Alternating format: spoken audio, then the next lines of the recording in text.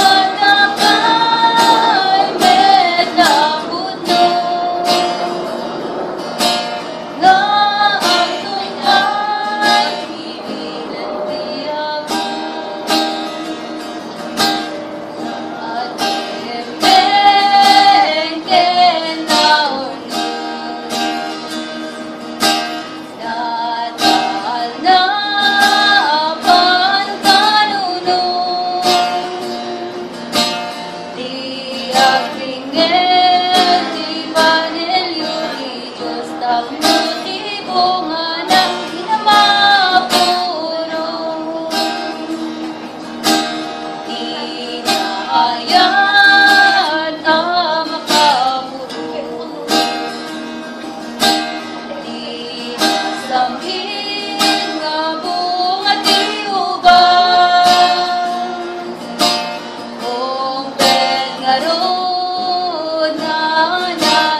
love.